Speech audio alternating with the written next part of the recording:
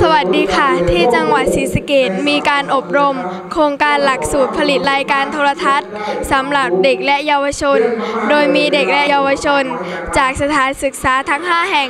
เข้าร่วมกิจกรรมในครั้งนี้ค่ะ ทั้ง 3 วันนี้มีกิจกรรมดีๆอะไรเกิดขึ้นบ้างนั้น วันนี้เราจะพาไปชมกันค่ะ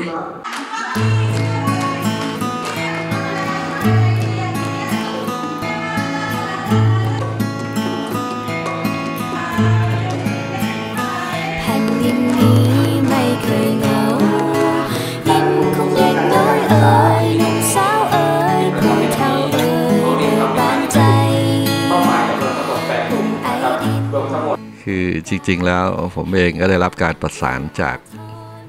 กลุ่มเยาวชนในจังหวัดศรีเกตอยู่บ่อยๆนะฮะ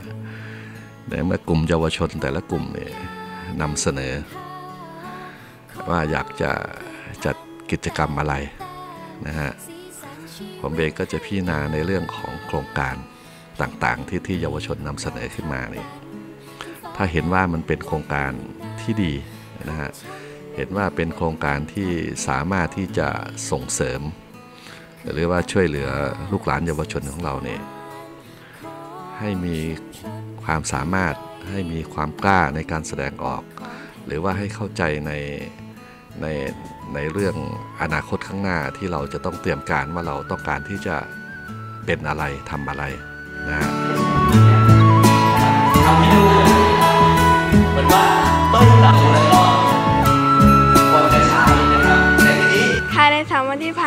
กิจกรรมอะไรบ้างคะครับในสามพันที่ผ่านมานะครับวันแรกนะครับก็จะเป็นการนะครับเข้ามารับรู้เกี่ยวกับครับความรู้ในการผลิตสื่อต่างๆนะครับ